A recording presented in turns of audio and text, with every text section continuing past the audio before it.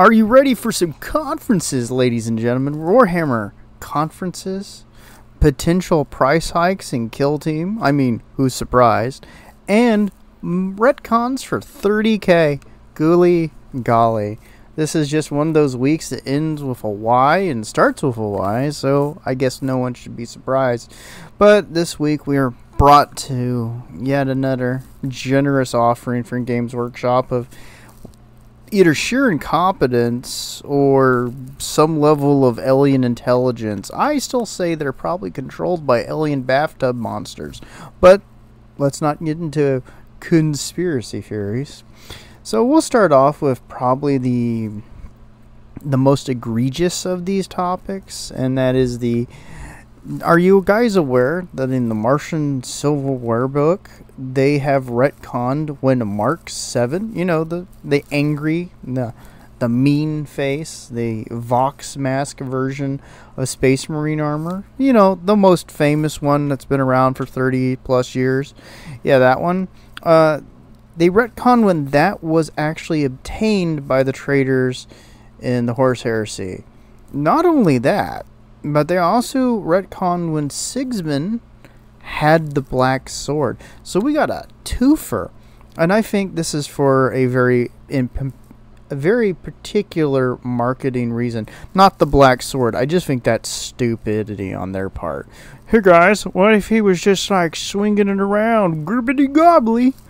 I, I, I think they didn't have much thought there. But I think the other part is they plan on discontinuing the Mark 7 kit so that they can eliminate people using any of the tactical kits for 40k armies because we won't want two people to play two systems at the same time. Gosh, that would be wrong. And um, they're very clearly planning on bringing it over to um, the Horus Heresy. And I have actually a suspicion because I've seen several rumors talking about some a potential Horus Heresy Christmas box, or at least the next Horus Heresy box uh, that they plan on putting out. And I'm starting to believe that the infantry that's going to be in that box are going to be Mark 7. And this justifies it on being on both sides. So they don't have to include two separate kits, everybody. Everybody's in Mark 7. So that's my conspiracy theory there. Wink a wink. And uh, we'll move on over to Kill Team. So Kill Team is getting a new edition because reasons. Uh, mostly of those reasons all involve dollar bill and cash signs. So you know, reasons. And uh, we're getting uh, some new boxes being re-released to some of the old teams I think this is the part where they're cashing these in before they decide to stop supporting them. And I noticed that they're all being shown with these data cards. So I'm assuming uh, they're implying they're a double, but I don't think the data. No, the data cards don't come with it. But wow, you kind of need those cards from the implications to run your teams because it has the rules for them. So fun times there. But I know there's going to be an increase in the box, not because of the cards, because that's separate air quote, but because they're going to be including the tokens needed for each of those teams to play. And we all know Games Workshop really loves to charge even more money when it involves something that's paper. And cardboard, holy cow, we thought they were overcharging for plastic. So I'm expecting a bit of a uh, a bump in the individual box prices. I think they're trying to get them to be around eighty dollars a box, effectively, or at least that's kind of their goal for them at the moment. And it's a bit ridiculous there, but eh, Kill Team is, I think, going to be uh, entering its last legs and mostly turning into a tournament thing because it's really not well new player friendly anymore and it really wants you to buy set boxes and not really make your own things and lord forbid that you buy some old tacticals and use them in a squad because we got rid of that rule because lord forbid in every universe because Tzeentch couldn't take it that you not spend obscene amounts of money on something for a change but you know there there's Kill Team. Kill Team's gonna get more expensive, like everything Warhammer related. And the only nice thing I can say is the boxes look really nice. Whoever's doing the uh, the visual design on them, uh, they get one thumbs up, not two, because they're probably gonna charge you for the box redesign too. So there you go.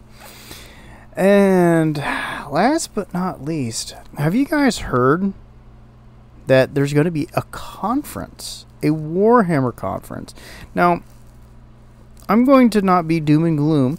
It's I looked through some of the stuff that's been announced in it, and it's not all bad. Some of it's interesting, but, and I do mean but, it is being hosted in Germany. And as someone who lived in Germany, not entering my trust level right there. And it's being hosted on a university, so again, my trust level. I'm, I'm kidding, of course. But the main thing is what concerns me is what we saw happen with uh, the Tolkien group uh, that's similar that that hosted uh, it's the Tolkien Foundation I think's the name. I might be getting that name wrong. But they host a conference and it's been a bit infiltrated by um, politically minded people who really, really want to uh, tell you how gay uh, the hobbits are, kind of thing. It really, really seemed to be obsessed with telling you about how gay the hobbits are instead of having any meaningful conversation. So I'm concerned that a Warhammer con- a conference. Eh, will kind of go down that same road.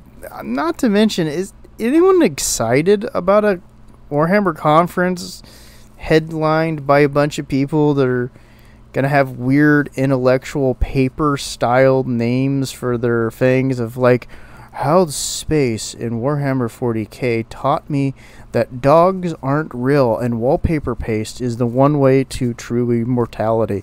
Do you really want to read that? Do you really want is is that going to get you to buy a ticket and go on over to German land and sit through a conference that the, probably the highlight of it between the you know attempts to hang yourself if your own tie is the lunch breaks. Uh, some of it's going to be interesting i'm sure but i just don't understand the point of it.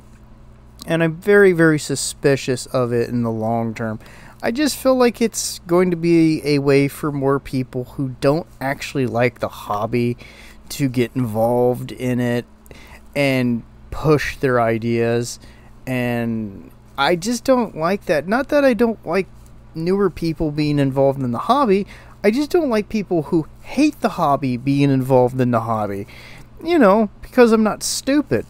And, um, you know, I like my hobby to not be destroyed. But you know, you know, let me know how you feel about it. And since I have actually had request, I will actually be producing a video that talks about how I would handle um, putting the pieces back for 40k, effectively in a way that would try to not destroy people's collections while going back into a more traditional form for Warhammer 40k and how that would be done.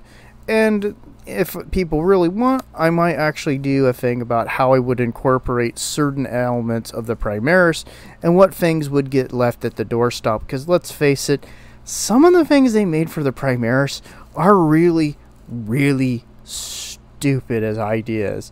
Like yeah, we're not replacing like your unit because this guy's got like jump packs and he has a moon helmet and he like dual wields heavy bolters, brah. And it's just a dumb unit.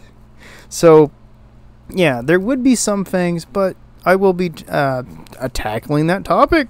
I'm sure people will love my fixing Warhammer and I'll put that one Eons of Battle guy on there so we can make sure it's an extra fix it video because he does fixing it of everything. Even though I don't think he does a very good job at fixing it. Not that I dislike him, I just don't like his fix it videos.